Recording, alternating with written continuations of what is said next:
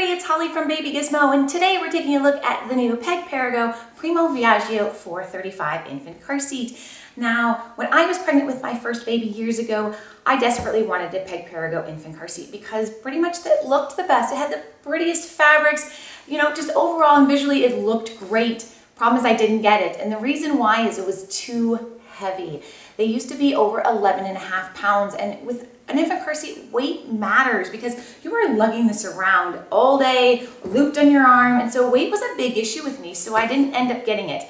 But what I love about this new infant car seat is they have shaved two pounds off of it, making it nine and a half pounds, which makes it totally doable. And I really think that was a really good improvement. So let's look at the 435. Now the 435 accommodates babies from four pounds all the way up to 35 pounds or 32 inches. Now it is an either or. When your baby either gets 230 five pounds or 32 inches, whichever comes first, that's when you discontinue using the seat. Now, this is an infant seat, which means it's always rear facing in your vehicle. Always, always, always. So let's look at the seat itself. Now, I love the fact that they included two, a two-stage cushion system, and this is for as your baby grows. Now, this first cushion here, it does button into the seat, but what this is, is this for, is for four to eight pounds, so newborn to eight pounds, what it does for the tiny little babies is it moves them into position, moves them up a little bit so they fit the harness properly. When your baby gets above eight pounds, you go ahead and remove this and then just use the stage two cushion.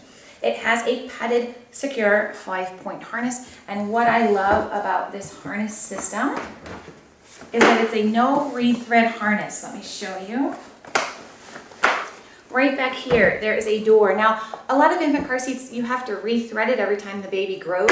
This one, you don't. There is a compartment back here, you squeeze and you lift in order to grow with your child. Now, as you can see, you see that whole headrest and the harness moving up and down that makes it super, super easy. Now you have the side impact protection, which is great for safety, of course, and so that's gonna move up so that it's in line with your baby's head. Really, really, really great no rethread harness. Um, let's see what else. You have, um, let, you know what, let's put the base aside for a second because I do wanna talk about the fact that a lot of new moms and dads don't realize that you can use an infant car seat without the base. Let's say you're giving the baby to grandma to watch for a little bit. You don't have to uninstall your base or grandma doesn't have to be stuck at home. They can just install the infant car seat using the seat belt in the vehicle.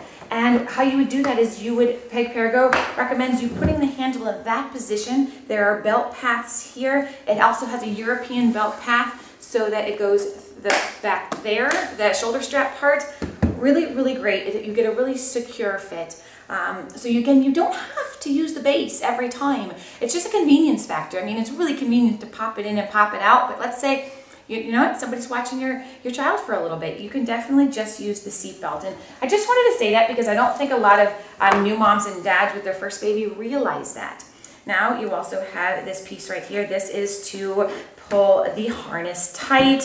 Very easy to do. You push the button to loosen it and then you just pull to tighten it. Make sure you have snug harnesses on your children when they're in the infant car seat. Okay, so you could do the pinch test, which you shouldn't be able to pinch to like a big loop of the um, five point harness. So you want it a really secure fit. You also want the chest clip at chest level. Armpit level right here is where you want that chest clip. Okay, so that let's talk about the canopy really quick because the canopy matters too. It is a large canopy for an infant seat. As you can see, it goes past the handle. A lot of infant car seats that kind of stop there. This one does not. It's a very large canopy. I really, really like that a lot. Um, so that is the car seat. And you know what, at nine and a half pounds, it's still not the lightest on the market, but it's definitely doable and I love the fact that they made it much lighter because nine and a half is no big deal. That, that's something that I can deal with. Now, let's talk about the base.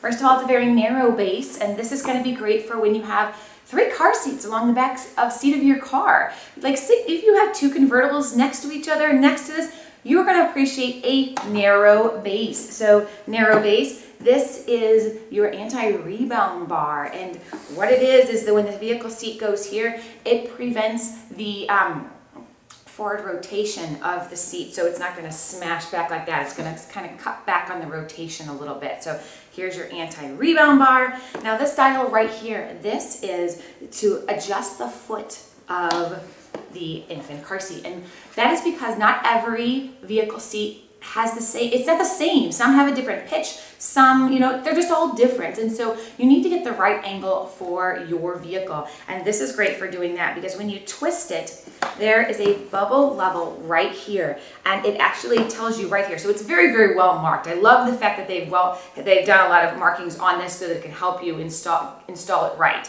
So for 4 to 11 pounds, you got 11 to 22 and 22 to 35. You just want to adjust this until the bubble is at the place where your child's weight is. So if you have an 11 pound baby, you want to make sure that the bubble is in that area. So really, really good. Now this is the right tight system and you can install the base with a seatbelt or it does have latch. So you pick your poison. You pick. You decide which one's going to be right for you, which is easiest for you. They're both safe. Um, the latch, never do both though. Here's the thing. With this seat in particular, Peg Perego says do not do both latch and car seat to install it. So you need to pick one. Um, so you can do latch just like you would normally do latch, or you could do the right, um, the right tight system. And this is this little blue piece right here. You're going to go ahead and thread the vehicle seat belt with the shoulder strap through this, this belt path right here, underneath the blue, and then you just push that down, and that is going to get you a secure um, fit into your vehicle. So really, really like that. Like I said, very, um, let's show you the, see how the foot moves? That's what I was talking about with the foot. That's gonna get you the right angle with your vehicle.